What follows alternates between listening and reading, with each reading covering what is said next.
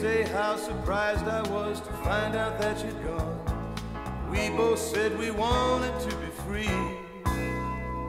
And although I didn't cry, it really hurt my pride.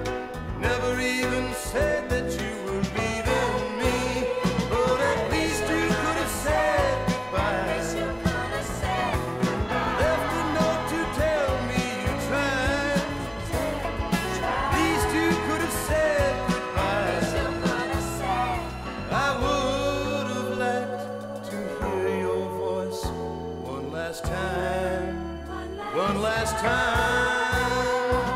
Won't pretend I ever really thought that you might stay. We both knew we were on borrowed time.